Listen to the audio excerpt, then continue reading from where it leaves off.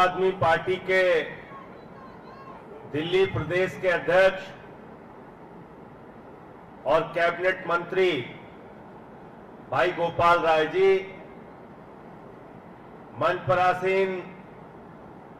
दिल्ली के स्वास्थ्य मंत्री भाई सौरभ भारद्वाज जी,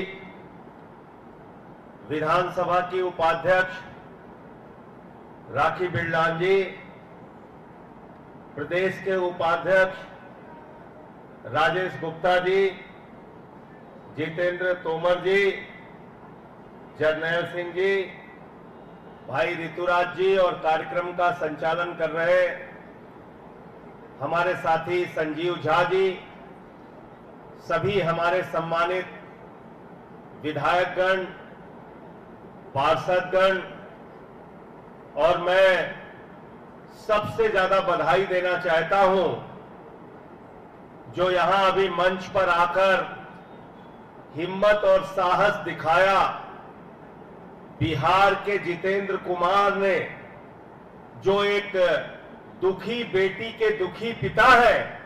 मैं चाहता हूँ उनके साहस के लिए एक बार आप लोग ज़रूर ताली बजाइए कि उन्होंने इतनी हिम्मत की कि कम से कम आज इस जंतर मंतर के ऐतिहासिक स्थान पर आकर अपनी पीड़ा देश के प्रधानमंत्री को पहुँचाने का काम किया। आप सोचिए कितनी मुश्किल से दिन रात परिश्रम करके, मजदूरी करके, किसानी करके, खेती करके ऑटो चला के रेड़ी की पटरी पर दुकान लगाकर एक आदमी अपने बच्चे को पढ़ाता है। सपना देखता है कि उसकी बेटी डॉक्टर बन जाएगी। उसका बेटा डॉक्टर बन जाएगा। समाज की सेवा भी करेगा और बुढ़ापे में हमारा सहारा बनेगा। मैं साथियों और दोस्तों, एक दिन पेट्रोल पंप पे अपनी गाड़ी में तेल भराने के लिए रुक गया। वहाँ पे पेट्रोल पंप का कर्मचारी मेरे पास आया और दुखी होके कहने लगा मेरी बेटी कहती है वो वीडियो भी मैंने डाला था। मेरी बे, बेटी कहती है पापा अब हम ये देश छोड़ के चले जाएँगे। कितनी मेहनत करें कितनी परिश्रम करें कितना सब कुछ करने के बावजूद ऐसा भ्रष्टाचार होता है। हमको तो उम्मीद नहीं है कि हमारा कभी दाखिला डॉक्टरी में हो पाएगा। ये एक पिता की पीड़ा है। ये एक बाप की पीड़ा है।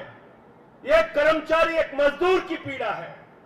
आप सोचिए, ये नीट के भ्रष्टाचार को, इसके घोटाले को, इसके पेपर लीक को आप सुनेंगे तो आपके होश उड़ जाएँगे साथियों।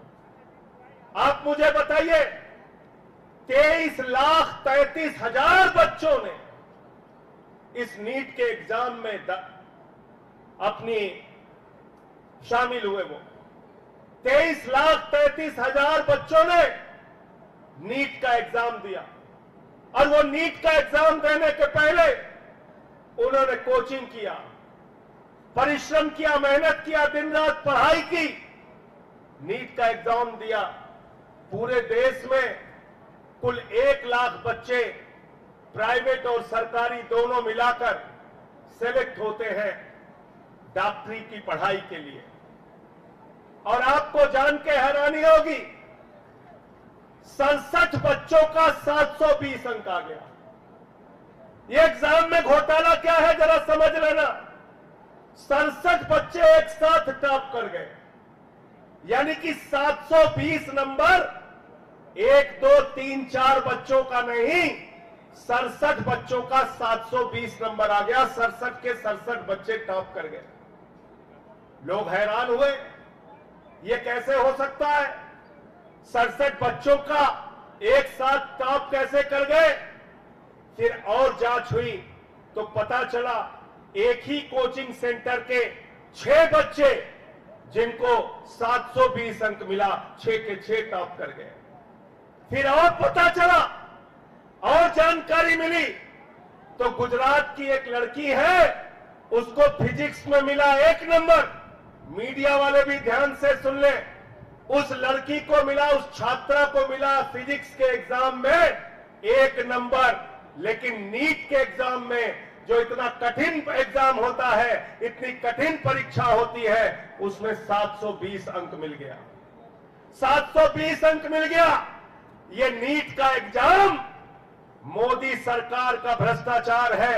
ये नीट का एग्ज़ाम मोदी सरकार के पेपर लीक का घोटाला है। ये नीट का एग्ज़ाम शिक्षा मंत्रालय के अधीन आने वाले एनटीए के अधिकारियों और राज्य सरकारों राज्य सरकारों में, जहाँ जहाँ बीजेपी की सरकारें हैं ज़्यादातर, उन लोगों ने मिलकर इस देश के लाखों बच्चों के साथ, करोड़ों लोगों के साथ उनकी ज़िंदगी और उनके भविष्य के साथ खिलवाड़ किया है। इसलिए ये नीट का एग्ज़ाम पूरी तरीके से रद्द होना चाहिए और फिर से एग्ज़ाम कराया जाना चाहिए। ये हम लोगों की मांग है। नीट का एग्ज़ाम पूरी तरीके से रद्द करो। और इसमें घोटाला क्या है? आपको मालूम है, ये नीट की परीक्षा का रिज़ल्ट जो आना था, ये आना था चार जून को, ए, चौदह जून को। चौदह जून को परीक्षा का रिज़ल्ट आना था। आया किस दिन? किस दिन आ गया? चार जून को रिज़ल्ट आ गया। क्यों रिज़ल्ट आ गया? क्योंकि ये मीडिया वाले सारे ये लगे रहेंगे हाँ जी, मोदी जी इतने सीट आ गई, ये इतने जीत गए, प्रधानमंत्री बन गए, सुपर प्रधानमंत्री बन गए ये जीत गए, ये जीत गए, ये जीत गए। भारतीय जनता पार्टी के गुणगान में पूरा देश लगा रहेगा और भाजपाइयों के पेपर लीक की चर्चा नहीं होगी। भाजपा सरकारों के पेपर लीक की चर्चा नहीं होगी। एनटीए के पेपर लीक की चर्चा नहीं होगी। शिक्षा मंत्री के पेपर लीक की चर्चा नहीं होगी। शिक्षा मंत्रालय के मोदी सरकार के घोटाले की चर्चा नहीं होगी। इसलिए एनटीए ने जानबूझ के 4 जून को रिज़ल्ट प्रकाशित किया। मैं पूछना चाहता हूँ, पहली जाँच तो इसी बात की होनी चाहिए कि किस घोटाले को दबाने के लिए 14 जून की जगह 4 जून को रिज़ल्ट प्रकाशित किया गया। नंबर एक और नंबर दो, मैं इस देश के नौजवानों से भी कहना चाहूँगा, कब तक खामोश रहोगे आप? कब तक इनकी गुलामी करते रहोगे? परीक्षा पे परीक्षा पेपर लीक हो रही है। अग्निवीर के नाम पर तुम्हारे साथ घोटाला किया जा रहा है। भारत माता का सीना छलनी किया जा रहा है। भारत की सीमाओं की सुरक्षा के साथ खिलवाड़ किया जा रहा है। अग्निवीर बनाकर, चार महीने के जवान बनाकर आपके पेट और पीठ दोनों में छुरा मारा जा रहा है। कब तक खामोश रहोगे आप। उत्तर प्रदेश के अंदर 60 लाख बच्चों का भविष्य बर्बाद हो गया। पुलिस भर्ती के नाम पर वहाँ पेपर लीक हो गया। कभी बिहार में पेपर लीक होता है, कभी गुजरात में पेपर लीक होता है, कभी राजस्थान में पेपर लीक होता है, कभी हरियाणा में पेपर लीक होता है, कभी महाराष्ट्र में पेपर लीक होता है। चार पाँच साल के अंदर दो करोड़ बच्चों का भविष्य बर्बाद हुआ है पेपर लीक से। कितने बच्चों का? दो करोड़ बच्चों का। दो करोड़ बच्चों का। और अगर पाँच आदमी का भी परिवार मान लीजिए तो करीब करीब दस करोड़ लोग इससे प्रभावित हुए हैं। दस करोड़ लोग प्रभावित हुए हैं, लेकिन हमारी संवेदनाएँ शायद मर गई हैं। हमें शायद गुस्सा नहीं आता। जब भी चुनाव आता है, जाति के नाम पे, धर्म के नाम पे, क्षेत्र के नाम पे, भाषा के नाम पे, हमें लड़ाया जाता है। हमारा वोट लिया जाता है। मोदी जी का गुणगान किया जाता है। लेकिन देश के नौजवानों की बात नहीं होती। बेरोजगारी का सवाल नहीं उठता। उनके भविष्य का सवाल नहीं उठता। तो मैं इस देश के नौजवानों से भी कहना चाहता हूँ, छात्रों से भी कहना चाहता हूँ कब तक आप इनकी गुलामी करोगे कब तक इनकी मानसिकता के पीछे जिंदाबाद लगाते रहोगे। उठाओ, आगे बढ़ो और अपनी आवाज़ को बुलंद करो। देश की सड़क पे हमने आपकी आवाज़ बुलंद की है। सदन 24 तारीख से शुरू होने जा रहा है। 27 तारीख से राज्यसभा शुरू होगी। मैं भरोसा दिलाना चाहता हूँ, इस देश के उन परिवारों को जो दुखी हैं। इस देश के नौजवानों को जो दुखी जो दुखी है, जो परेशान है, जो पीड़ित है, देश की संसद में भी आपकी आवाज़ को आम आदमी पार्टी के सांसद पूरी बुलंदी के साथ उठाएँगे। पूरी मजबूती के साथ उठाएँगे। अपने अपने स्तर पे आवाज़ उठाइए। कब तक आप इन नकली सवालों में उलझे रहेंगे? देश का प्रधानमंत्री चुनाव प्रचार में जाता है तो 60 लाख बच्चों का जो भविष्य बर्बाद हुआ, पुलिस भर्ती के नाम पर उत्तर प्रदेश में उसकी चर्चा नहीं करता। देश के प्रधानमंत्री जब चुनाव प्रचार में जाते हैं तो गुजरात के अंदर जो पेपर लीक के कारण नौजवानों का भविष्य बर्बाद हुआ, उसकी चर्चा नहीं करते। देश के प्रधानमंत्री हरियाणा के नौजवान के साथ जो विश्वासघात होता है, उसकी चर्चा नहीं करते। महाराष्ट्र के नौजवान के साथ जो भ्रष्टाचार होता है, उसकी चर्चा नहीं करते। देश के प्रधानमंत्री कभी मुगल की बात करते हैं कभी मुसलमान की बात करते हैं, कभी मटन की बात करते हैं, कभी मछली की बात करते हैं, कभी मंगलसूत्र की बात करते हैं, कभी मुजरा की बात करते हैं। शर्म आती है। भारत के प्रधानमंत्री को नौजवानों की चिंता नहीं है। तुम्हारे अंदर अगर चिंता खत्म हो गई है तो अभी तक तुमको 240 पे पहुँचाया है। इस देश की जनता फिर से तुमको दो सीटों पर पहुँचाने का काम करेगी नरेंद्र मोदी जी। चिंता करो नौजवानों की। चिंता करो किसानों की।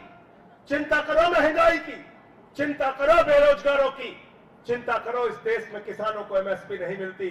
देश को तुमने बर्बादी की कगार पे पहुँचा दिया और नकली मुद्दों पर देश के लोगों को उलझा कर रखते हो। हमारा ये विरोध है और इस बात के लिए आज हम लोग जंतर मंतर पे इकट्ठा हुए हैं। इसके पहले उत्तर प्रदेश के अलग अलग जिलों में भी हम लोगों ने नीट के सवाल को लेकर आंदोलन किया था। कल पूरे देश का आह्वान किया है। कल पूरे देश में आम आदमी पार्टी नीट के एग्ज़ाम के सवाल को लेकर विरोध प्रदर्शन करेगी।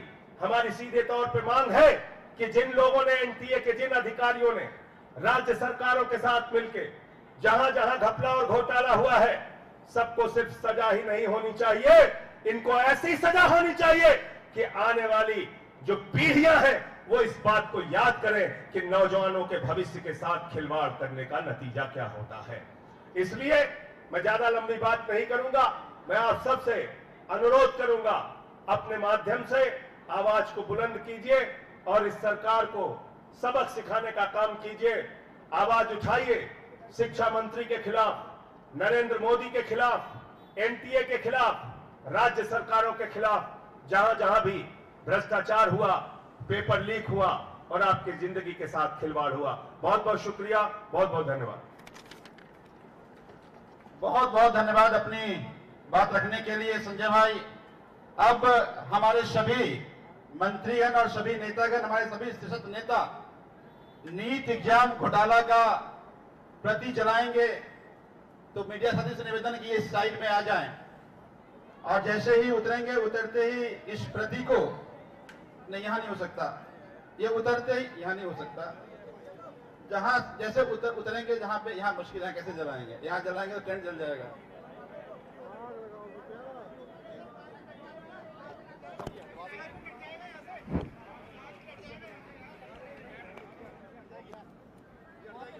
बहुत बढ़िया यही कर।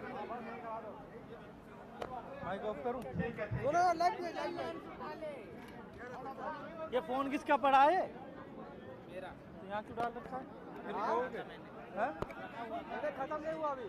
हम लोग पेपर चलाएँगे अभी नीट वाला ठीक है? कुलदीप लाइव डिवाइस के ऊपर रखो ना वो बैग को बैग को बैग को। बैग को भी लो और लाइव डिवाइस को भी लो।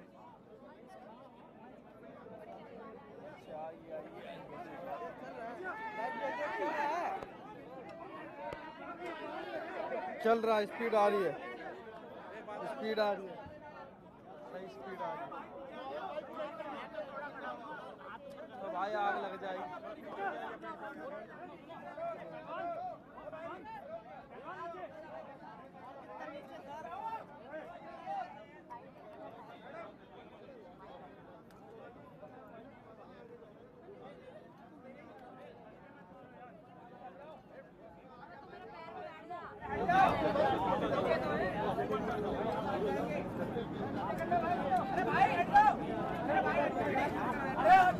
भाई भाई भाई कैमरे के आगे।